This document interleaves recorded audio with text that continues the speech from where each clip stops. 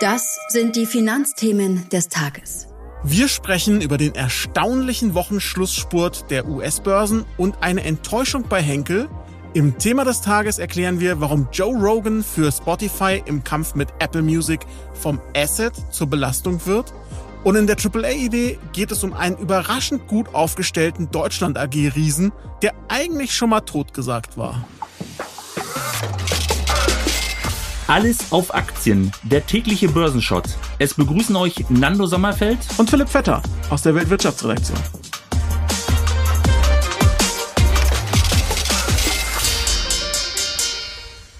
Die im Podcast besprochenen Aktien und Fonds stellen keine spezifischen Kauf- oder Anlageempfehlungen dar. Die Moderatorin und der Verlag haften nicht für etwaige Verluste, die aufgrund der Umsetzung der Gedanken oder Ideen entstehen.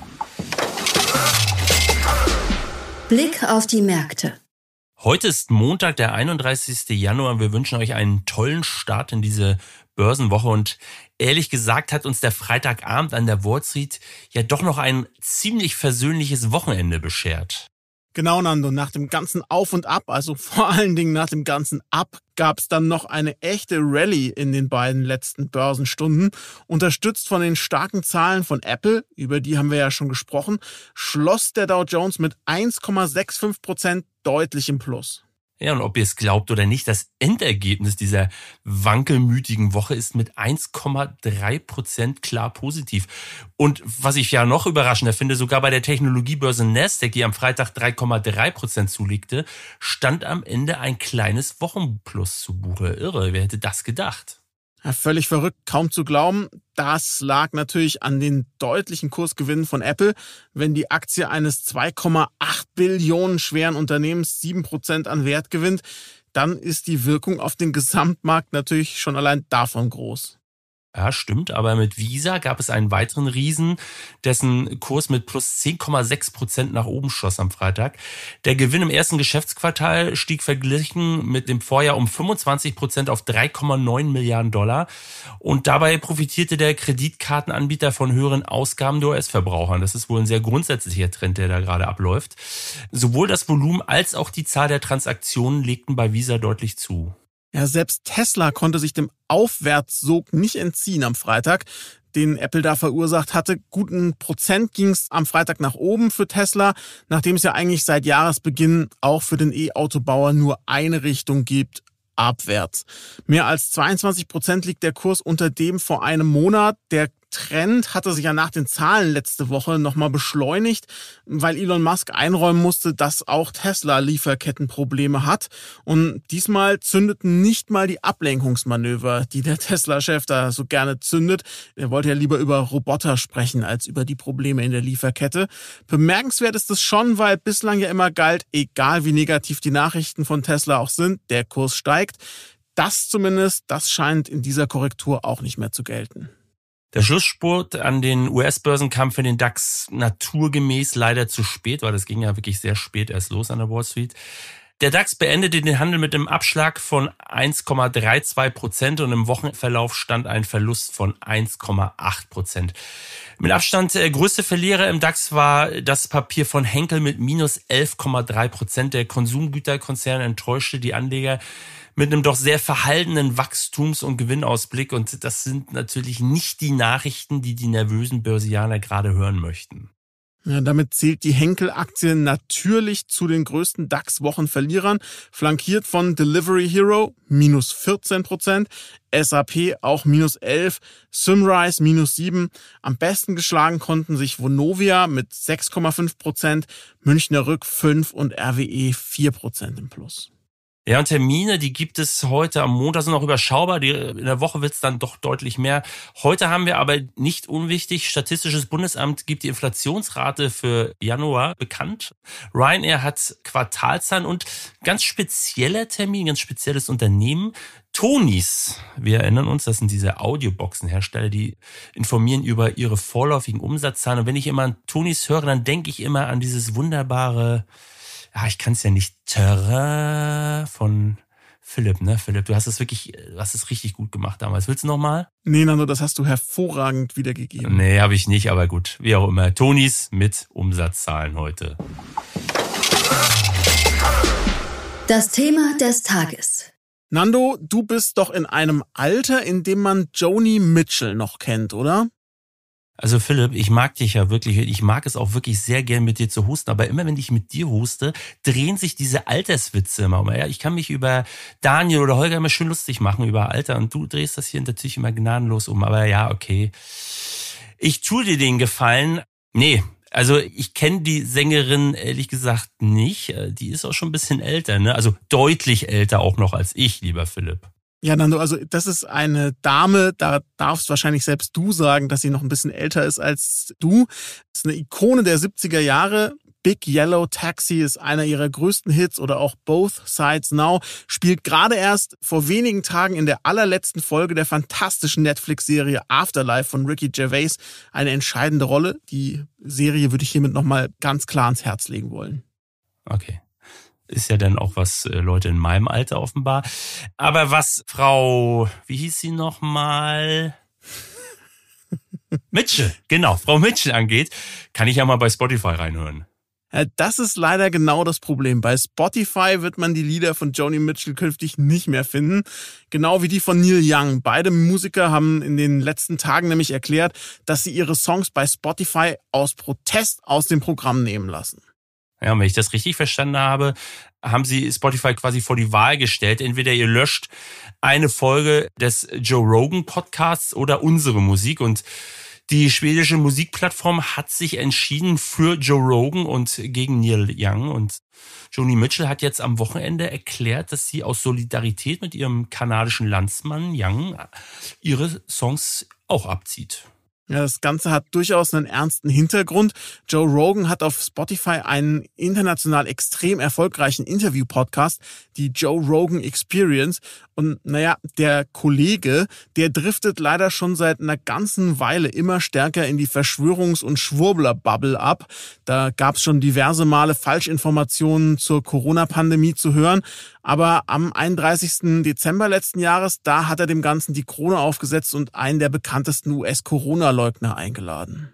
Ja, zahlreiche amerikanische Ärzte, Wissenschaftler, aber auch Pflegerinnen und Pfleger haben daraufhin einen offenen Brief oder Spotify in einem offenen Brief aufgefordert, etwas gegen diese Falschinformation bei Joe Rogan zu unternehmen.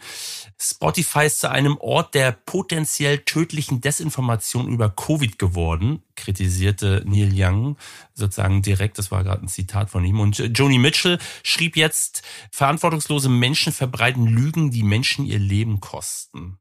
Ja, Spotify hat jetzt echt ein Problem, weil sie viel Geld in Rogans Podcast investiert haben. Der soll einen Exklusivvertrag für 100 Millionen Dollar unterschrieben haben und ist damit anscheinend deutlich wichtiger für die Musikplattform als die beiden alternden Singer-Songwriter, wobei Young monatlich immer noch auf 6 Millionen Streams bei Spotify kam und Mitchell immerhin noch auf knapp 4 Millionen. Das könnte Spotify sicherlich noch verschmerzen, wenn es denn dabei bleibt. Die Frage der nächsten Tage wird jetzt aber sein, ob sich andere Künstler anschließen. Und Jan Böhmermann, der mit Fest und Flauschig den wichtigsten deutschen Podcast für Spotify macht, der hat schon getwittert, Neil Young hat recht. Die Konkurrenz versucht, die Probleme von Spotify jedenfalls schon gnadenlos auszunutzen. Bei Apple Music, da bekommt man direkt auf der Startseite die Songs der beiden Protestierenden angeboten. Entdecke Neil Youngs gesamte legendäre Diskografie heißt es da. Und sei nicht traurig, Jonys gesamte Musik ist genau hier. So könnte Rogan vom Vorteil im Kampf um die Vorherrschaft im Musikstreaming zur echten Belastung für Spotify werden. Ja, da ist echt Apple wirklich gnadenlos, muss man sagen. Und der Konzern hat ja Ende letzter Woche starke Zahlen vermeldet. Wir hatten ja darüber berichtet. Und das liegt eben auch an den sogenannten Services. Und in der Kategorie fasst der Konzern alles von Apple Music über Apple TV Plus bis zur iCloud und zur Spieleplattform Arcade oder Arcade zusammen. Und der Umsatz in diesem Segment stieg im Vergleich zum Vorjahr um ganze 4 Milliarden Dollar auf inzwischen 19,5 Milliarden. Nutzerzahlen veröffentlicht Apple nicht für seinen Musikdienst, aber für alle Abo-Dienste zusammen berichtet der Konzern über 785 Millionen zahlende Kunden. Das sind 165 Millionen mehr als noch vor einem Jahr. Ja, und dieses Plus auf Jahressicht, das ist fast so hoch wie die Gesamtzahl der zahlenden Spotify-Nutzer. Die lag zuletzt bei 172 Millionen. Spotify wird in dieser Woche Quartalszahlen vorlegen. Bei Apple hat man die Services jedenfalls als Wachstumsmarkt ausgemacht und geht entsprechend aggressiv in den Wettbewerb mit Spotify. Ja, an der Börse, wie gesagt, wird es dann spannend, wenn die Quartalszahlen jetzt kommen. Da ging es für Spotify zuletzt wie für viele andere Tech-Aktien ja auch kräftig abwärts. Seit Jahresbeginn liegt das Minus derzeit bei rund 30 Prozent. Und das dürfte natürlich nicht nur an der umstrittenen Rogan-Folge liegen, sondern am allgemeinen Trend. Aber in so einem Umfeld dann noch so negative Schlagzeilen zu produzieren, das ist natürlich alles andere als hilfreich. Ja, und es zeigt natürlich auch, dass das Podcast-Business nicht ohne Risiko ist. Da werden ja gerade im englischsprachigen Raum derzeit hohe Summen in die Hand genommen, um Stars wie Rogan an die Plattformen zu binden. Wenn die sich dann ins Abseits katapultieren, ist die Investition möglicherweise nicht nur futsch, sondern wird dann auch noch zur echten Belastung. Ja, bislang gibt es nur wenige börsennotierte Firmen, die im Podcast-Geschäft aktiv sind oder wirklich direkt sich vor allem damit beschäftigen. Eine haben wir euch ja schon mal vorgestellt, die schwedische Acast ist vor allem in der Werbevermarktung von Podcast aktiv, weil er also auf diesen boomenden Markt setzen will, ohne sich im Kampf Spotify gegen Apple Music entscheiden zu wollen. Der kann sich die Schweden ja mal anschauen. Allerdings ging es auch da zuletzt deutlich abwärts minus 30 Prozent in den vergangenen vier Wochen.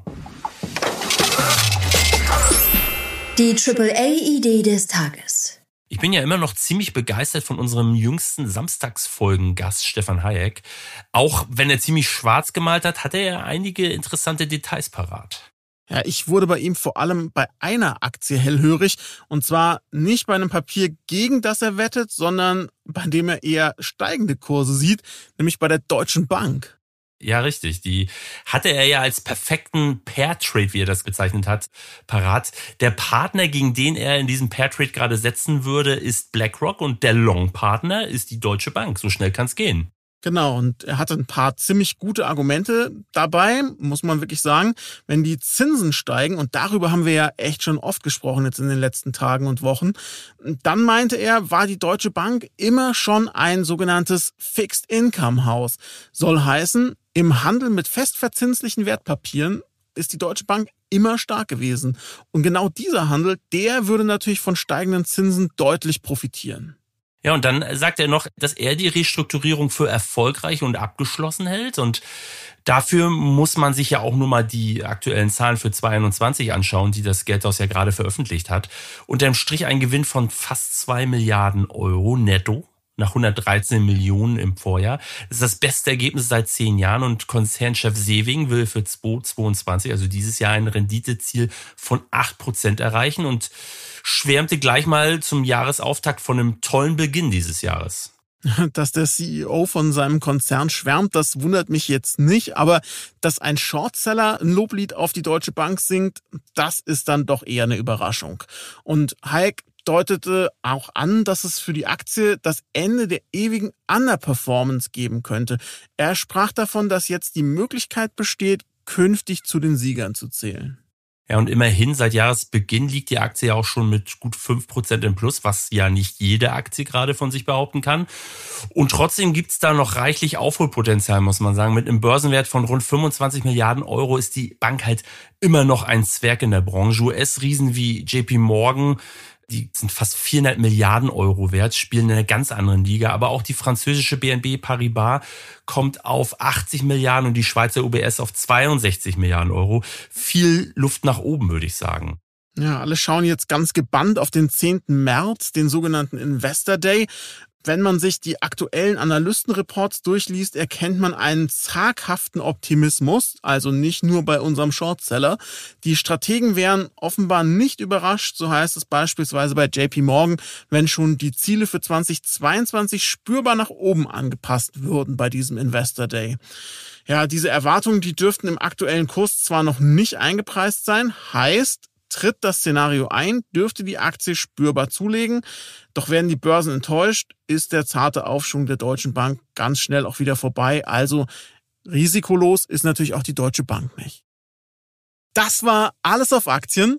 Wir freuen uns immer über euer Feedback. Schickt uns dafür einfach eine Mail an AAA, also aaa.welt.de oder hinterlasst uns im Podcast-Player eures Vertrauens eine Bewertung. Svenja hat uns geschrieben und ist ganz begeistert von der Sonderfolge von Nando und Holger. die mit dem Shortseller, über die wir gerade auch schon gesprochen haben. Sie hat die Folge daran erinnert, dass Anlegen auch ganz viel damit zu tun hat, sich eine eigene Meinung über Unternehmen zu bilden und sich dann auch ja dran zu halten und sie zu vertreten. Hätten wir besser nicht sagen können, liebe Svenja.